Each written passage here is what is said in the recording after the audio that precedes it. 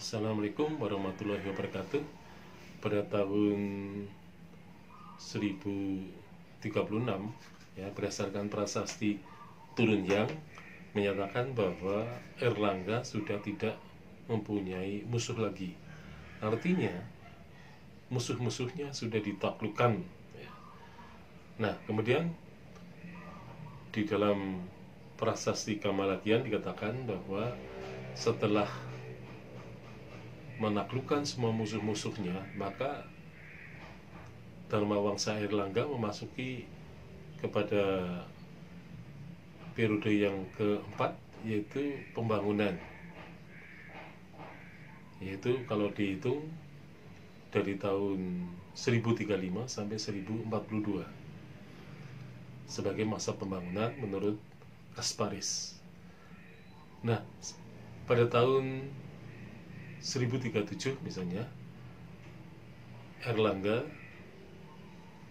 membangun ya bendungan Waringin Sapta yaitu bendungan yang berada di Sungai Berantas untuk pertanian kepentingan pertanian kemudian juga untuk penanggulangan banjir ya karena salah satu yang sering kena banjir adalah bangunan Isana Bawanam yaitu candi candi yang diperuntukkan kepada Empu Sindok. Kemudian prasasti Kamalagian 1037 juga menyatakan bahwa ada semacam pelabuhan ya ujung galuh ya yang terkenal yaitu pelabuhan yang dikunjungi oleh banyak kapal-kapal dari luar ya. jadi kapal-kapal dari luar banyak yang berlabuh di eh, pelabuhan ujung galuh gitu nah kemudian ada capaian yang lain misalnya bahwa pada zaman Erlangga ini muncul ya atau ditulis ya lahir ditulis atau lahir Kakawin Arjuna Wiwaha. Jadi Kakawin Arjuna Wiwaha ini sebagian para ahli menyatakan bahwa Arjuna Wiwaha itu merupakan gambaran atau biografi Erlangga ketika dia menikah dengan putri Sriwijaya yaitu putri dari Sri Sanggrama Wijaya Tunggawarman yaitu Sri Sanggrama Wijaya Tunggadewi. Jadi itu dianggap sebagai suatu simbol bagi eh, kehidupan Erlangga yang di apa lestarikan dalam bentuk kakawin Arjuna Wiwaha.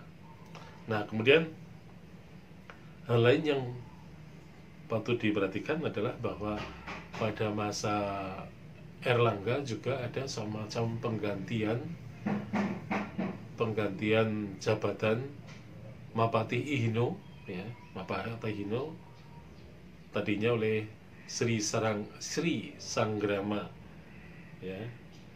Dharma Prasado Tunggadewi kemudian digantikan oleh Sri Samarawijaya Dharma ya Dharma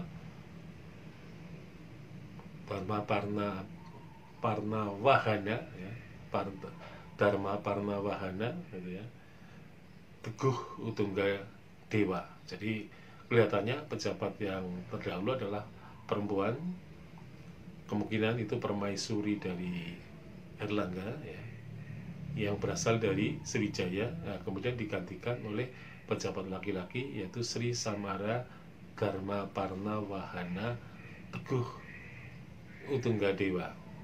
Nah ini adalah merupakan uh, apa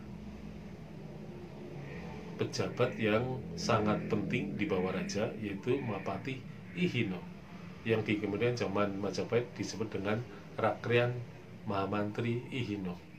Sekian, Assalamualaikum warahmatullahi wabarakatuh.